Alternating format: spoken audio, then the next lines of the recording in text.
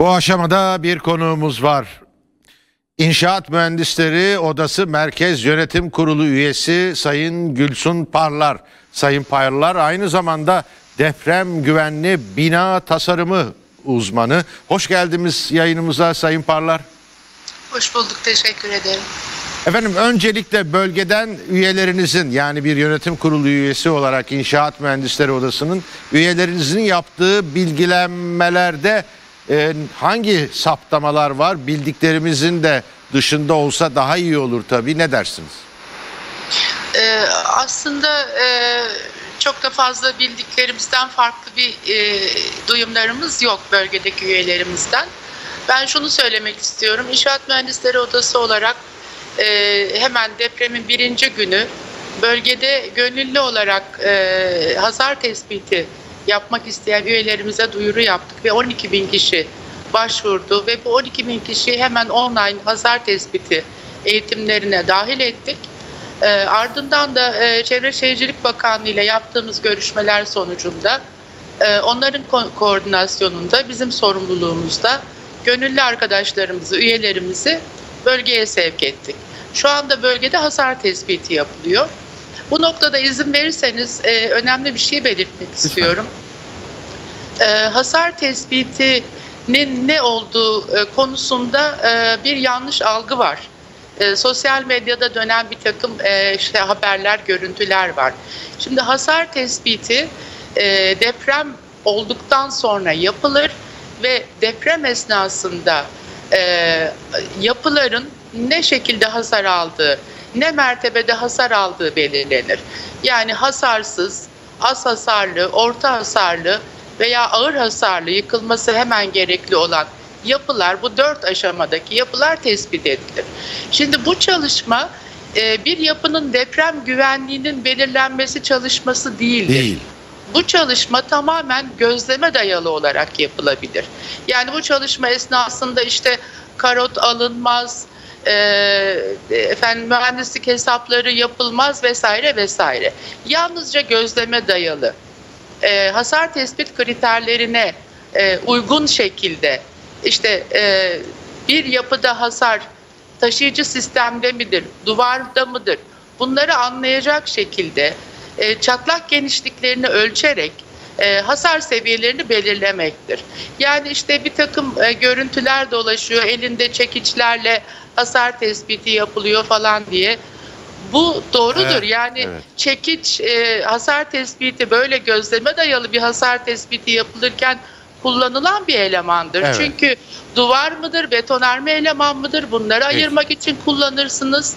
E, sıvayı kaldırmak Peki. için kullanırsınız, hasarı görmek için. Anladım. Bunu bir düzeltmek istedim önce. Hay hay sağ olun. Efendim şimdi e, bir de arkadaşlarımdan ka- spot için şu anda bir öneride ve ricada bulunuyorum. E, deprem güvenli yapı tasarımı nasıl diye bir e, spot da yazmalarını rica ediyorum. O konuya geçiyoruz çünkü bu alanda uzmansınız. Efendim e, uzmansınız dedim. Peki şöyle bir soruyu ben sorsam. olduğumu iddia etmiyorum. Hiçbir zaman onu bir belirteyim önce. Peki ben sizin hakkınızda Tamam. yaptığım e, araştırmada, minik araştırmada Tamam. elde ettiğim sonuçla ilgili olarak e, bunu söylüyorum. E, depreme dayanıklı yapı tasarımı açısından Türkiye ne durumda kabaca? Şimdi depreme dayanıklı yapı üretim sürecinden bahsetmek Sayın Parlar bir saniye. E, evet bir canlı yanılmıyorsam e, yurttaş çıkarıldı. Saat 228 bir kadın ve iki çocuk üstelik üç kişi hem neresi arkadaşlar? Hatay Antakya Oybak Sokak Uğur Apartmanı'ndan 228. saatte 3 kişi birden çıkarıldı. Tekrar edelim 3 kişi ama nasıl arkadaşlar E, anne ve iki çocuğu hem de hem de hepsi sağ E, bu üçlü yanılmıyorsam bilemiyoruz tabii İnşallah daha fazla olur. Bu felaketin simgelerinden biri de olabilir. 10. gündeyiz çünkü. 10. gündeyiz, 228. saatteyiz ve enkaz an- altından anne ve iki çocuğu çıkarıldı. Yok yok bende yok. Yok yürüyemiyorum öyle. Hem sol hem sırım bende.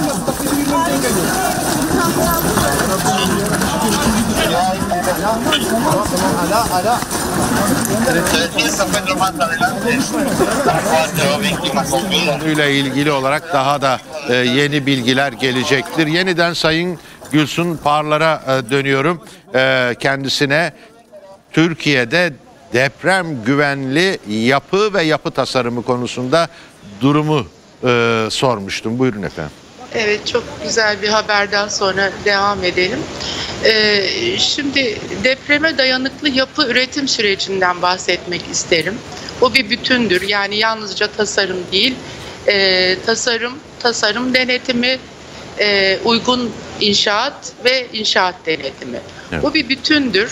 E, bütün e, bu halkaların bir arada çalışması gerekir. Bir halka eksik olduğunda maalesef e, deprem dayanımı yüksek olmayan yapılar ortaya çıkmış oluyor. Şimdi tasarım sürecini e, inceleyecek olursak şu konuları vurgulamak isterim. Türkiye'de tasarım sürecindeki en büyük aksaklık maalesef yetkinlik gözetilmeden e, her türlü yapı tasarımının her inşaat mühendisi tarafından yapılabilmesidir. Bu da 1938 tarihli Mühendislik Mimarlık Kanunu'na dayanmaktadır. Yani bugün mezun olan bir inşaat mühendisinin hemen yarın her türlü yapıyı tasarlaması ve altına imza atması mümkündür. Yüksek yapılar dahil olmak üzere. Bu doğru değildir tabii. Diplomanın belgelediği eğitim her koşulda e, çok önemlidir ve gereklidir ama bu işi e, gerektiği gibi yapabilmenin ölçütü tek başına bu değildir. E, bunun öğretici, e, geliştirici, olgunlaştırıcı ve düzeyli bir uygulama deneyim ile tamamlanması bir başka deyişle mühendisin düzeyli bir uygulamanın içinde pişmesi, erginleşmesi gerekmektedir. Bu konu özellikle 99 depreminden sonra çok tartışıldı ve toplumda da kabul gördü ve İnşaat Mühendisleri Odası bu çerçevede bir yetki mühendislik yazısı hazırladı E, ve yönetmeliği hazırladı. Bu yönetmelik yayınlandı, uygulamaya hemen başlandıktan hemen sonra maalesef hukuki süreçlerle e, bu yönetmelik ortadan kalktı. Buradaki hukuki süreçlerin dayanağı da e, demin belirttiğim gibi 1938 tarihli mühendislik mimarlık hakkında kanundur. Yani der ki sen bir inşaat fakültesinden mezunsan ve bir inşaat mühendisliği diplom, diploman varsa her türlü işi yapabilirsin. Ee, başka bir eğitime, meslek içi eğitime, deneyime, bilgi birikimine, bir çıraklık ilişkisine işte ihtiyaç duymadan bunu yapabilirsin der ve dolayısıyla bu e, e, kanunun aslında acilen değişikliğe ihtiyacı vardır. Evet. E, izin verirseniz ondan sonra inşaat imalat sürecine geçmek isterim. E, zincirin diğer halkası. Biraz zamanı değerlendirmek için e, Buyurun. Sayın Parlar e, bir de şunu soracağım. Yani çünkü artık herkes gerçekten evim güvenli mi sorusunu soruyor. Bu ciddi bir öncelik. E, diyelim ki yani tasarımda denetimden bahsettiniz. Yani tasarımda bile denetim diye ben onu biraz daha böyle öne Evet. çıkarayım. E, ev alırken veya e, bir ev için sözleşme yapmadan önce e, ne yapabilir tüketici veya ev sahibi olmak isteyen e, nelere dikkat etmeli? Yani girip böyle eve bakıp herhalde e, tamam ben bu ev alıyorum dememesi gerekiyor bu kadar tecrübeden sonra. Ee, Şimdi tabii e, bir tüketici için e, e, talip olduğu evin bir inşaat ruhsatı varsa, belediye tarafından ruhsat verilmişse, inşaat bittikten sonra da yine belediye tarafından e, bir iskan verilmişse, aslında bakacak olursanız bu belgelerin e, bir tüketici için yeterli olması lazım. Yani tamamen resmi sürecini e, tamamlayıp bir inşaat ortaya çıkmış ve kullanıma açılmış demektir. Evet. Ama maalesef işte e, özellikle e, demin bahsettiğim kısmen tasarım süreci ondan sonra denetim süreçlerinde bugün yaşadığımız aksaklıklar e, bu sürecin demek ki doğru olarak ta- e, tamamlanmış olmadığını göstermekte. Evet. Ee, şöyle bir şey önerebilirim. Tabii e, çevrelerindeki bir inşaat mühendisi vasıtasıyla e, projeyi hızlıca da olsa inceletebilirler. Bazı noktalardan e, yapılmış binayı yerinde inceletebilirler. Fi- bir e, fikir alabilirler e, diye düşünüyorum. Evet. Bir de efendim tabii şimdi bu ev alırken veya bir eve girerken veya taşınırken, kiralarken düşünebileceğimiz durumlar. Bir de hali hazırda oturanlar sağlarına sollarına bakıyorlar. Benim evim güvenli mi değil mi? Ama gözle görünmese de acaba yani artık bu, bunu sormak durumundayım. Ne yapayım? Yani o kadar büyük bir e, endişe var ki e, kendi başlarına hızla harekete geçmek adına ister evden çıksınlar ister e, bir yapı denetimine veya e, bir uzman ekibe e, bakın e, de- demeye başlasınlar. Bir ön adım ne olabilir? Bir çıplak gözle e, ne saptayabilirler, nelere dikkat etmeliler? Ne olur bu soruyu sorduğum için bağışlayın ama bu halde artık insanlarımız. Ee, şimdi şöyle çıplak gözle e, vatandaşın yani bir mühendislik hizmeti almadan Evet. görebileceği şeyler vardır. Örneğin İstanbul'da e, e, mevcut yapı stoğunda çok yaygın bir e, belirti var, bir hasar var. O da şu korozyon. Ee, yani insanlarımız bodrum katlarına belki hiç apartmanın bodrum katına hiç inmemiş sakinlerimiz vardır. Evet. Halbuki, bu, halbuki bodrum katına indiklerinde e, bu korozyon hasarlarının ciddi boyutlarda olduğunu görme ihtimalleri vardır. Çünkü İstanbul'da çok yaygın bir sorun. O zaman bir Özellikle- Bodrum'a inin. Adım adım evet. Evet, evet, Bodrum'a inin bakın. Bu dışarı mı sızar efendim? Veya nem varsa Evet, korozyon tabii. kesindir. Yani nem kendini gösterir. Korozyon sonucunda e, donatıların e, donatılarda demirlerde yani yaprak yaprak e, kalkmalar olduğu için Evet. e, demirlerin e, et, e, dışındaki betona bir e, basınç yapması söz konusu oluyor. Dolayısıyla bu ilerledikçe dıştaki beton kabuğun dökülmesi söz konusu oluyor. Evet. Bunları dökülmüş halde bile göre- görebilirler. Yani bodrumlar temiz mi? Rutubet var mı? İşte sıvalı bodrumlarda tabii bu daha korunaklı olduğu için bunlar olabiliyor ama pek çok bodrum katta eski binalarda özellikle sıva dahi yapılmamış oluyor.